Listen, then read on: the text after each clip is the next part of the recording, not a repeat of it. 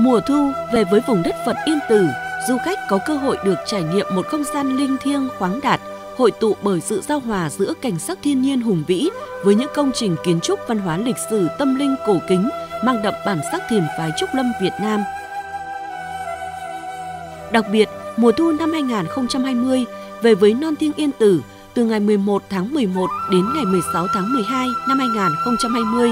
du khách sẽ được hòa mình vào chương trình trải nghiệm khác biệt và hấp dẫn với chủ đề Yên Tử về miền đất Phật mùa thu, tưởng nhớ Phật Hoàng Trần Nhân Tông. Chương trình gồm một chuỗi 21 hoạt động du lịch văn hóa thể thao trải nghiệm hấp dẫn, đặc sắc, trưng bày tranh ảnh nghệ thuật về Yên Tử, tuần văn hóa ẩm thực Quảng Ninh, khai trương spa chăm sóc sức khỏe bằng dược liệu, cùng các hoạt động tri ân tưởng nhớ Đức vua Phật Hoàng Trần Nhân Tông,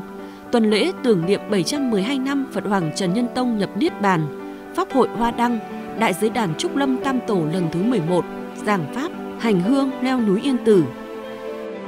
Lễ khai mạc chương trình sẽ được tổ chức vào 9 giờ ngày 11 tháng 11 năm 2020 tại khu di tích và danh thắng Yên Tử, xã Thượng Yên Công, thành phố Uông Bí, tỉnh Quảng Ninh.